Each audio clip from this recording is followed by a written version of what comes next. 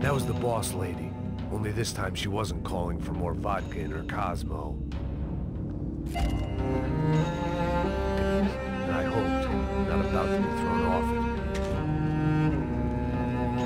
Trashy magazines and pretty trashy people. I just hoped I could keep them out of the crime section.